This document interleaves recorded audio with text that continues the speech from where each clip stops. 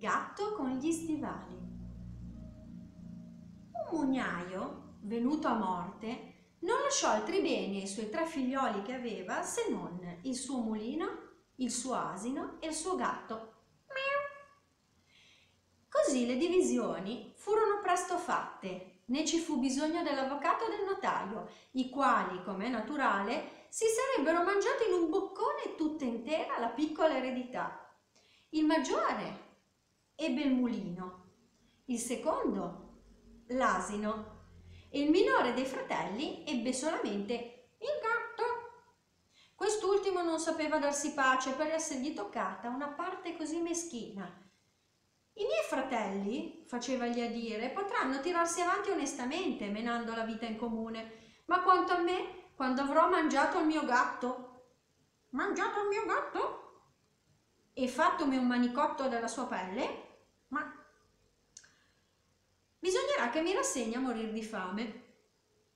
Il gatto, che sentiva questi discorsi e faceva finta di non darsene per inteso, gli disse col viso serio e tranquillo non vi date alla disperazione, padron mio. Voi non dovete fare altro che trovarmi un sacco e farmi fare un paio di stivali per andare nel bosco e dopo vi farò vedere che nella parte che vi è toccata non siete stato trattato tanto male quanto forse credete.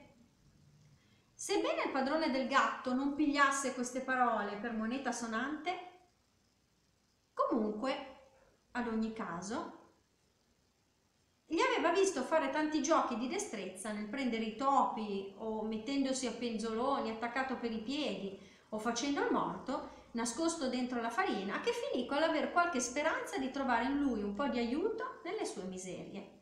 Appena il gatto ebbe ciò che voleva, si infilò bravamente gli stivali e mettendosi il sacco al collo, prese le corde con le zampe davanti e se ne andò in una conigliera dove c'erano moltissimi conigli. Pose dentro al sacco un po' di crusca e della cicerbita e sdraiandosi per terra come se fosse morto, aspettò che qualche giovane coniglio, ancora novizio dei chiapperelli del mondo, venisse a ficcarsi nel sacco per la gola di mangiare la roba che c'era dentro. Appena si fu sdraiato ebbe subito la grazia. Ecco un coniglio, giovane d'anni e di giudizio, che entrò dentro il sacco e il bravo gatto, tirando subito la funicella, lo prese e lo uccise senza pietà e senza misericordia. Tutto glorioso della preda fatta, il gatto andò dal re e chiese di parlargli. Lo fecero salire nei quartieri del re dove era entrato e fece una gran riverenza al re e gli disse Ecco sire, un coniglio di conigliera che il signor marchese di Carabà, era il nome che gli era piaciuto di dare al suo padrone, mi ha incaricato di presentarvi da parte sua. Dì al tuo padrone, rispose il re, che lo ringrazio e che mi ha fatto un vero regalo. Un'altra volta andò a nascondersi fra il grano, tenendo sempre il sacco aperto, e appena ci furono entrate dentro due pernici, tirò la corda e la acchiappò tutte e due. Corse quindi a presentarle al re come aveva fatto per il coniglio di conigliera. Il re gradì moltissimo anche le due pernici e gli fece dare la mancia. Il gatto in questo modo continuò per due o tre mesi, a portare di tanto in tanto al re la selvaggina della caccia del suo padrone.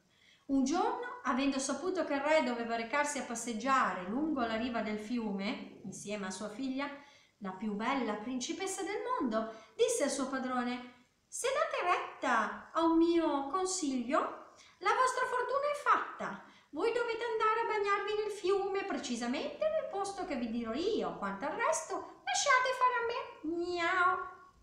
Il marchese di Carabà fece tutto quello che gli consigliò il suo gatto, senza sapere a che cosa gli avrebbe potuto giovare. Mentre egli si bagnava, il re passò di là e il gatto si mise a gridare con quanta ne aveva in gola. Aiuto! Aiuto! Affoga il marchese di Carabà! Miau! A queste grida il re mise il capo fuori dallo sportello della carrozza e, riconosciuto il gatto che tante volte gli aveva portato la selvaggina, ordinò alle guardie che corressero subito in aiuto del marchese di Carabà.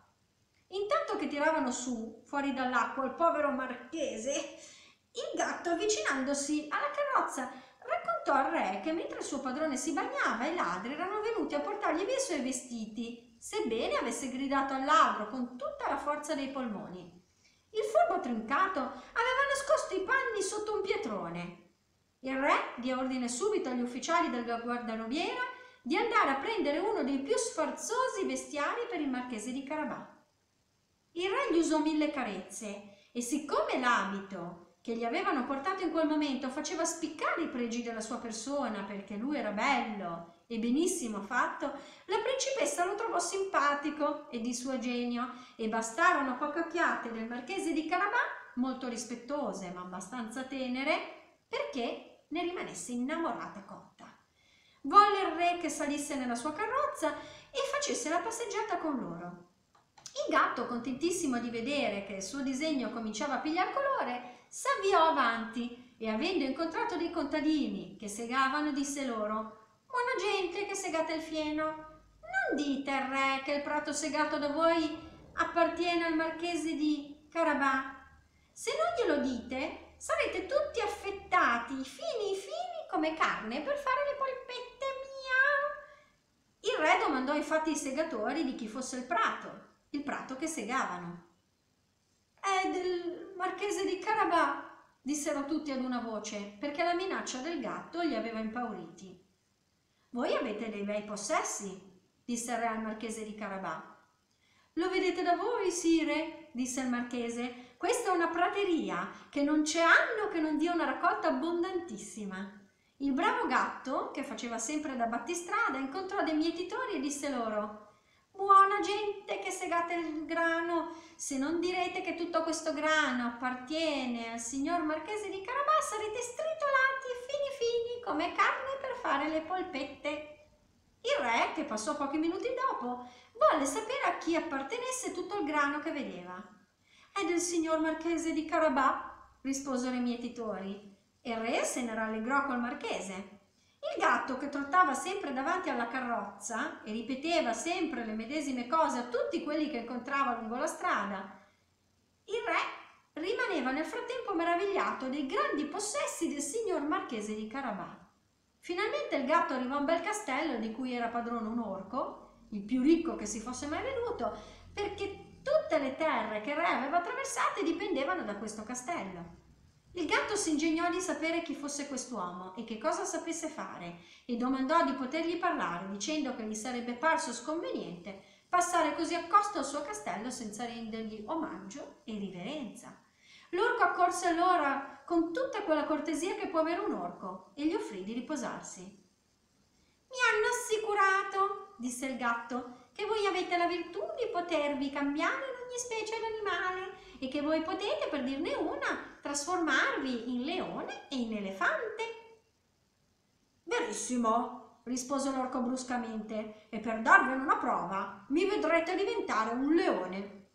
Il gatto fu così spaventato nel vedersi dinanzi agli occhi un leone che si arrampicò subito su per le grondaie, ma non senza fatica e pericolo, a cagione dei suoi stivali che non erano buoni per nulla per camminare sulle grondaie dei tetti. Di lì a poco, quando il gatto s'avvide che l'orca aveva ripreso la sua forma di prima, calò a basso e confessò di aver avuto una gran paura. Mi hanno per di più assicurato, disse il gatto, ma questa mi par troppo grossa e non la posso bere, che voi avete anche la virtù di prendere la forma dei più piccoli animali, come sarebbe dire miau, di cambiarvi per esempio in un topo o in una ma anche queste sono cose, lasciate che ve lo ripeta, che mi paiono sogni dell'altro mondo mio. Sogni, disse l'orco, ora vi farò vedere io. E nel dir così si trasformò in sorcio e si mise a correre per la stanza.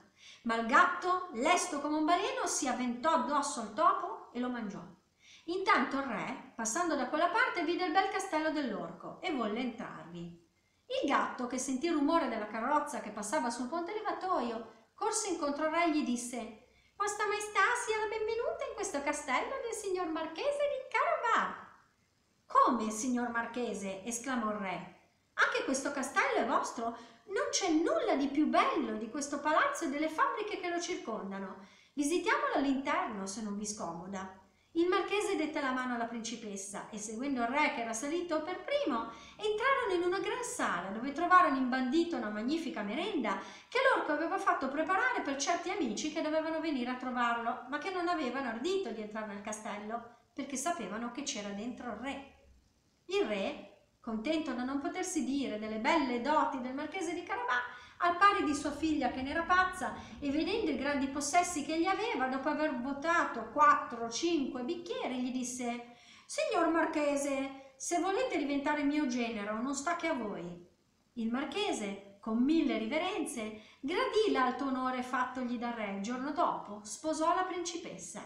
Il gatto diventò un gran signore e se seguitò a dar la caccia ai topi, lo fece unicamente per passatempo.